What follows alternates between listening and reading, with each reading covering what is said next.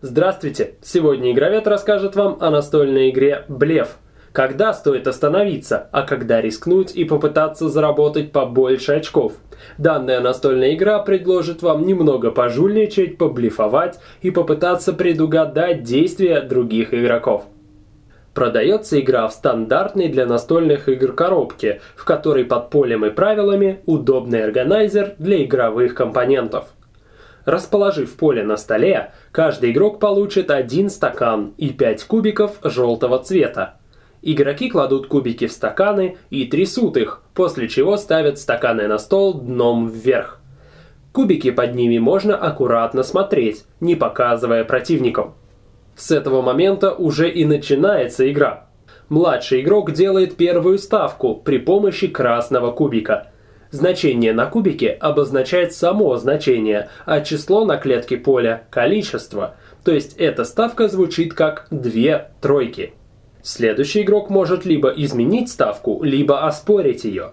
Если он ее изменяет, то он может передвинуть кубик вперед без изменения числа на нем, например, на 4 тройки.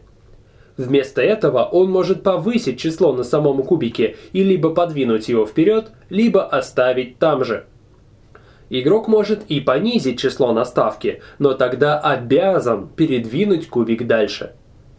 Если же игрок оспаривает ставку, то игра останавливается, и все игроки открывают свои стаканы и считают количество заявленных кубиков. Все звезды при этом это джокеры, которые считаются любым числом.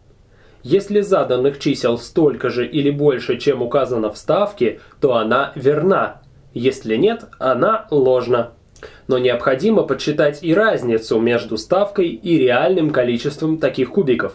Именно стольких своих кубиков лишится проигравший в споре, оспаривавший или делавший ставку.